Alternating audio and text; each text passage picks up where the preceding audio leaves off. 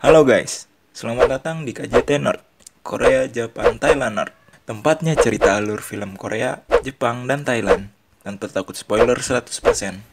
Ya kira-kira 30% spoiler lah ya. Kenapa cuma 30%? Karena biar kalian juga bisa nonton sendiri film-film yang nantinya direview KJT Nerd dengan rasa penasaran yang masih ada.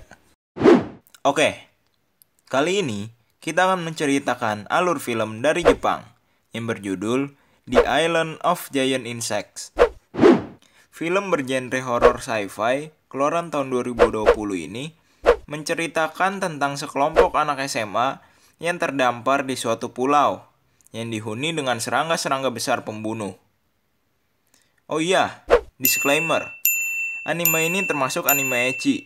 Jadi mohon dimaklumi kalau ada penampakan pentil, pentil, dan pentil, dan pentil lagi, pentil satu kali lagi. Ya, cukup. Tanpa berlama-lama lagi, kita langsung cus ke ceritanya. Scene berawal di sebuah bandara, di mana para siswa dan beberapa guru yang sudah mau berangkat. Dan scene pun langsung lompat ke pinggiran sebuah pulau. Di sana, ada karakter utama di film ini, yaitu Mutsumi Oribe. Ia bangun dari pingsannya. Sepertinya, rombongan siswa ini mengalami kecelakaan pesawat dan terdampar di sebuah pulau. Setelah sadar, Mutsumi langsung mencari tas miliknya dan mulai mencari teman-temannya, yang siapa tahu masih banyak yang selamat. Saat pencariannya itu, ia pun kaget karena tiba-tiba ada orang yang memegang tangannya dari belakang. Ternyata, orang itu adalah siswa dari sekolahnya juga, yang kita sebut saja si Kapten Softball. Ternyata, Kapten Softball ini juga baru menemui Mutsumi. Mereka berdua pun lanjut mencari teman-temannya itu. Shin berganti ke teman-teman Mutsumi lainnya. Ternyata, teman-temannya itu lumayan banyak yang selamat. Pertama-tama, kita perkenalan semua karakternya. Yang ini kita sebut saja si kacamata. Yang ini si cabe. Yang ini si idol. Yang ini si kuncir. Ini si jambul. Ini si wibu. Ini si ikal. Dan ini si botak. Nah, tiba-tiba si kuncir ini pingin buang air jadi, masuklah dia ke dalam semak-semak. Saat buang air, tiba-tiba dia berteriak sangat kencang karena dia melihat dua ekor kupu-kupu yang sangat besar. Semua teman-temannya pun berlari ke arah teriakannya itu. Tetapi sangat disayangkan, kupu-kupu itu sudah terlanjur mengisap sari kehidupan si kuncir ini. Lalu, tiba-tiba si idol juga diserang oleh kupu-kupu itu. Belum sempat disedot sari kehidupannya, Si Wibu langsung membantu si Idol. Si Idol pun dilepas oleh kupu-kupu itu. Tetapi, si Wibulah malah yang disedot sari kehidupannya. Si Jambul juga dikejar oleh kupu-kupu itu. Dan ia pun juga tersedot. Dan satu orang lagi yang hampir tersedot, yaitu si Kacamata. Tetapi, Mutsumi tiba-tiba datang dan langsung membantunya dengan menggunakan parfum dan korek untuk membakar si kupu-kupu ini. Si kacamata pun akhirnya selamat. Jadi, orang yang tersisa sekarang hanya ada tujuh orang. Mutsumi, si kacamata, si idol, si kapten softball, si cabe, si ikal, dan si botak. Saat merencanakan cara agar mereka bisa bertahan hidup, tiba-tiba ada suara dari jauh seperti helikopter. Mereka pun berlari mendekat ke arah datangnya suara itu. Tetapi, saat sangat dekat dengan arah suara, Ternyata suara itu dihasilkan dari kepakan sayap tawon raksasa. Si kacamata yang membantu Mutsumi malah disengat dan dibawa oleh tawon itu. Sekarang yang tersisa hanyalah enam orang. Tiba-tiba, si botak ingin jadi ketua di grup itu. Tetapi, banyak yang tidak setuju dengan keputusan yang ia ambil.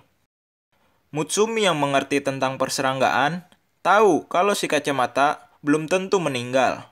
Karena Biasanya tawon setelah memburu akan balik ke rumahnya dan menetaskan telurnya. Sebelum telur itu menetas menjadi larva yang ganas, si kacamata pasti akan selamat. Mereka pun akhirnya berniat menyelamatkannya, sekaligus juga karena HP yang satu-satunya hidup adalah HP si kacamata. Mereka pun pergi mencari rumah tawon itu. Akhirnya, mereka menemui sebuah rumah warga yang jendelanya seperti corong aneh. Mereka pun langsung masuk ke dalam rumah itu. Dan ternyata benar. rumah itu sudah dijadikan sarang tawon. Di sana, mereka melihat teman-teman sekolahnya yang kebanyakan sudah dalam keadaan baju yang sobek-sobek dengan kulit yang berdarah-darah karena mereka sedang digrogoti larva tawon. Tetapi, mereka tidak melihat si kacamata. Karena larva-larva ini jadi menyerang mereka juga, mereka pun keluar. Karena mereka tidak menemukan si kacamata, Mutsumi kekeh mau mencari sarang tawon lainnya. Tetapi, tiba-tiba si Ikal mengeluarkan HP yang masih menyala, yang tadi ia ambil dari dalam rumah. Mereka pun semua bahagia karena tidak usah lagi mencari si kacamata. Tetapi Mutsumi satu-satunya orang yang kecewa. Tiba-tiba ada seekor tawon yang lewat di atas mereka. Sepertinya tawon itu adalah koloni lain dan akan ke sarang lainnya. Tawon itu membawa seseorang yang ternyata adalah teman si botak yang kita sebut saja si pirang.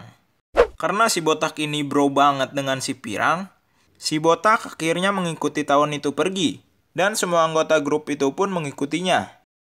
Si botak sampai di sarang tawon itu duluan. Ia pun langsung masuk. Saat baru masuk, ia tiba-tiba diserang oleh tawon yang masih ada di sarang itu. Untungnya Mutsumi sudah sampai di sana, dan langsung menyemproti tawon itu dengan parfumnya. Tawon itu pun akhirnya terdistrek. Si botak ini langsung lari ke lantai atas, dan langsung membopong si pirang untuk dibawa keluar dari sarang itu. Dan ternyata, di sana juga ada si kacamata. Mutsumi pun langsung ingin membawanya keluar. Tetapi, Mutsumi tidak cukup kuat untuk membawanya keluar sendirian.